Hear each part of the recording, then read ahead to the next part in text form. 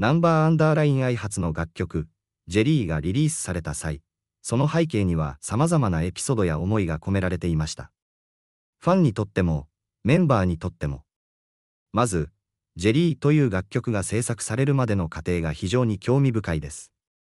ナンバーアンダーライン愛のメンバーは、これが彼らのデビュー曲となるだけに、楽曲のテーマやメッセージには特に強いこだわりを持っていました。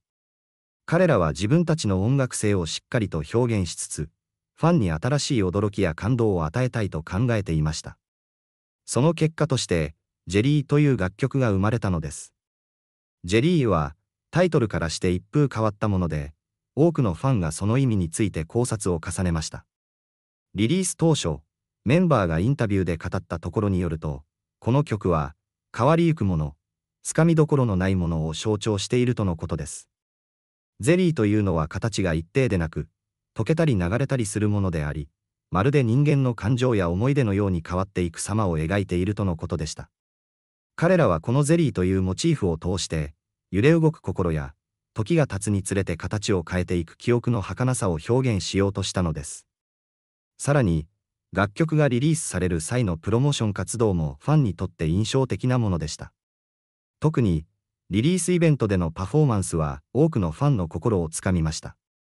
このイベントでは、メンバーがジェリーの制作過程や曲に込めた思いについて率直に語る場面もあり、楽曲がどのように生まれたのかを直接知ることができたのはファンにとって貴重な体験でした。また、メンバーが自分たちで振り付けや演出を手掛けた部分も多く、彼らのクリエイティビティと熱意が感じられるリリースとなりました。ジェリーのミュージックビデオもまた、注目の的となりました。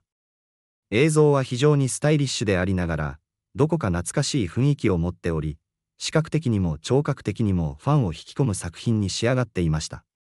ビデオの中では、メンバーが様々なカラフルなゼリーに囲まれてパフォーマンスを披露するシーンや、幻想的な光景の中で感情を表現する姿が映し出されています。これにより、楽曲が持つ不安定さや儚さが、視覚的にも見事に表現されています。リリース後、ジェリーはすぐに話題となり、多くの音楽チャートで上位にランクインしました。特にその斬新なリズムとメロディー、そして深い歌詞がファンだけでなく、音楽評論家からも高く評価されました。また、彼らのパフォーマンス力も大きな話題を呼び、テレビやラジオの音楽番組に多数出演する機会が増えました。メンバー自身もこの楽曲の成功に非常に感動しており、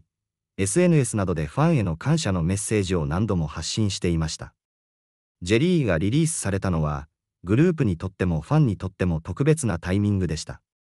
彼らの音楽キャリアのスタートを飾るこの楽曲は、今後の活動への期待感を一層高めるものであり、ファンとの新しい関係性を築く重要な一歩となったのです。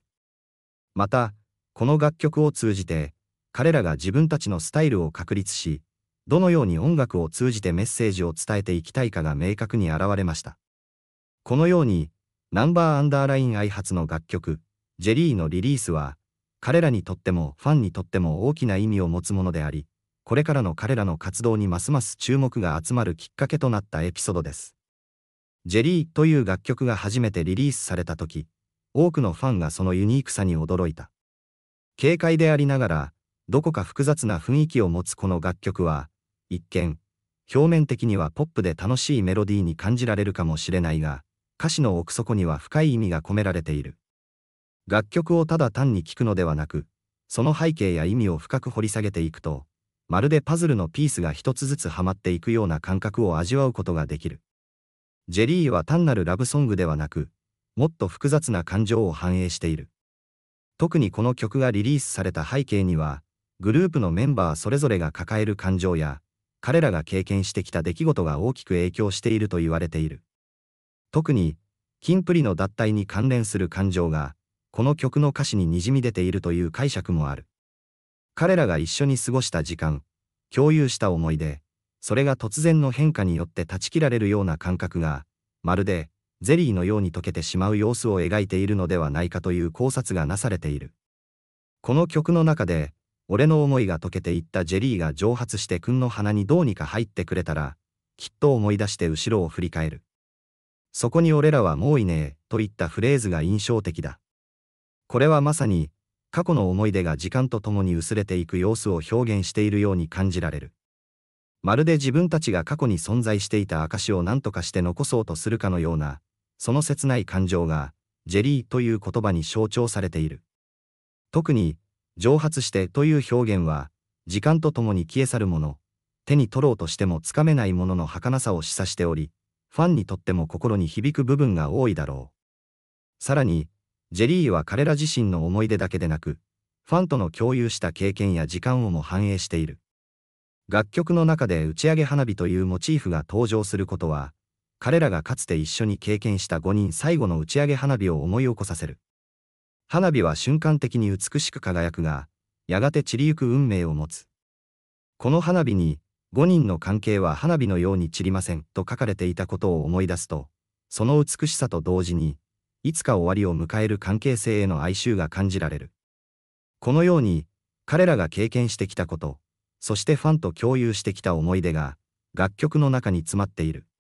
音楽というものは、時として言葉以上の感情を伝えることができる。そして、ジェリーは、単なるメロディーやリズムの集合体ではなく、その背景にあるストーリーやメッセージが非常に強く感じられる楽曲だ。この曲を聴くことで、ファンは過去の楽しい思い出や苦い別れを思い出し、再びその感情に触れることができる。その中には、もう取り戻せない過去の感情も含まれているだろう。しかし、同時にこの楽曲は、前に進むというメッセージも込められている。過去にとらわれることなく、未来に向かって進むことが大切だという思いが歌詞の中に込められている。ジェリーがリリースされた背景には、グループの脱退や再編成という非常にデリケートな時期があった。そのため、この曲をただ単に楽しむだけでなく、その背後にある意味や彼らの思いを考えることが重要だ。